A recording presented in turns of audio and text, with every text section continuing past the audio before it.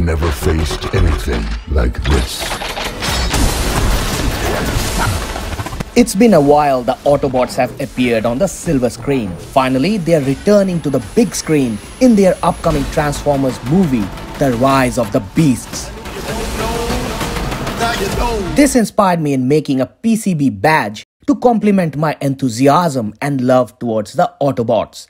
In this tutorial, I'm going to show you guys how to design this Transformers PCB badge and how to solder the components to it. This video is sponsored by PCBWay. PCBWay specializes in manufacturing of very high quality, low volume colored PCBs at a very budgetary price. In addition to standard PCBs, you can also order advanced PCBs, aluminum PCBs, rigid flex PCBs. They also provide PCB assembly and other related services which can meet your need to the greatest extent.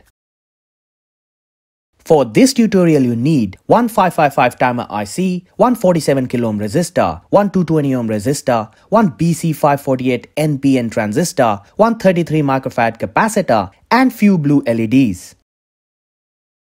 In my last tutorial, I created a 555 LED fader module and explained how the circuit works. In this tutorial, I'm going to use the same LED fader circuit to create a fading effect for the eyes of the badge. So, before going ahead, let's do a quick recap and find out how the LED fader circuit works with the help of an animation. The heart of this circuit is the 555 timer IC. Pin number 1 of the IC is connected to ground. By connecting pin number 2 and 6 of the 555 timer IC, we put the IC in astable mode. In astable mode, the 555 timer IC acts as an oscillator, re-triggering itself, generating square waves from output pin pin number 3. Three other components connect to this junction. First one is the 33 microfarad capacitor. The positive pin of the capacitor connects to this junction and the negative pin is grounded. Second one is the 47 kilo ohm resistor. One of its legs connects to this junction and the other leg is connected to the output pin pin number 3 of the IC. Third one is the base of the BC548 NPN transistor. The collector of the transistor along with pin number 8 and 4 of the IC connects to the positive terminal of the battery. The LED along with its current limiting resistor is connected to the emitter of the transistor. That's it. As simple as that. When pin number 2 of the IC detects voltage less than one third of the supply voltage, it turns on the output on pin number 3. And when pin number 6 detects voltage more than two third of the supply voltage, it turns off the output. This is how the trigger pin pin number 2 and the threshold pin pin number 6 of the 555 timer IC senses voltage and controls the output at pin number 3. The capacitor attached to the circuit will be in discharge state immediately after firing up the circuit. So the voltage at pin number 2 will be 0 volts which is less than one third of the supply voltage. This will turn on the output on pin number 3. Since pin number 3 is looped back to pin number 2, it will start charging the capacitor via the 47 kilo ohm resistor. At the same time, the base current of the transistor will also increase causing the LED to slowly fade in. Once the voltage across the capacitor crosses two-thirds of the supply voltage, pin number 6 turns off the output. This causes the capacitor to slowly discharge, causing the base current to fall and hence the LED starts fading out. Once the voltage across the capacitor falls below one third of the supply voltage, pin number 2 turns on the output and the above cycle continues. You can hook up a multimeter to the circuit to measure the charging and discharging of the capacitor.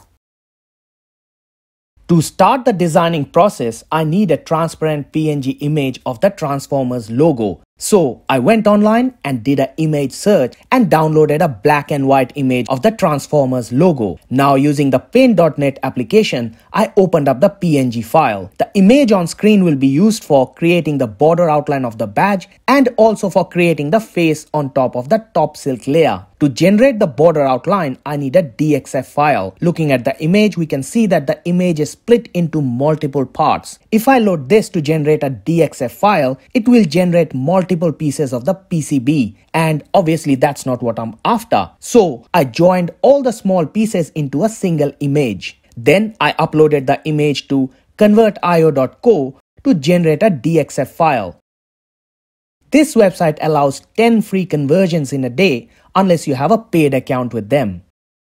Now let's go ahead and add the new PCB to our project and remove the default border outlines. Then import the DXF file via File, Import, DXF menu. Make sure you have the border outline selected under Layers when you import the DXF file. Now let's import the image that will go on the top silk layer. Select top silk layer and then import the image and move it inside the board outlines. Before going ahead, let's have a look at how the board looks like in 3D. As we can see, the eyes and all other holes still have the blue PCB bits inside. So let's go ahead and remove them from our design. To do so, select the multi-layer from the layers and object panel. Then select the solid region from the PCB tools panel and start drawing the region you want to exclude from your PCB. That's it, as easy as that. Checking the PCB in 3D, we can see that the top bit has now a see-through hole in it.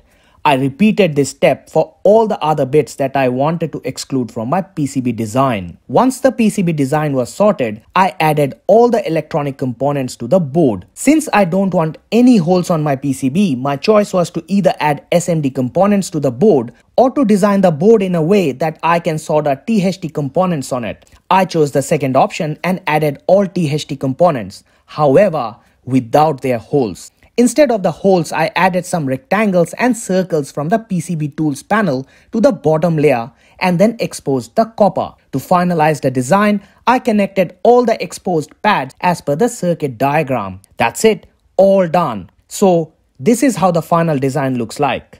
So this is what came in the mail bag. Have a look at the quality. It is absolutely mind-blowing. At the back of the board are all the exposed copper parts for soldering the electronic components. As mentioned earlier, I could have designed the board with SMD components. However, I wanted to design something that someone with zero SMD soldering knowledge can also do. Alright, now let's go ahead and solder the components to the board. Let's first solder the 555 timer IC to the board. Then let's solder the two resistors to the board.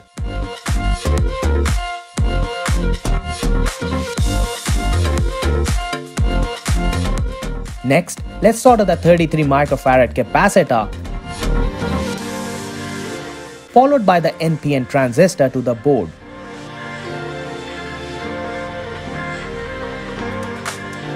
To conclude the setup, Let's solder the two LEDs to the board.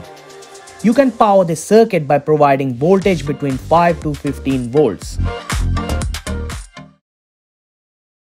So this is how the final setup looks like. You can insert the bottom bit of the badge to a wooden plank and put this on your desk to give your desk a flashy look. Thanks again for watching this video. I hope it helps you. If you want to support me, you can subscribe to my channel and watch my other videos. Thanks. See you again in my next video. Bye now.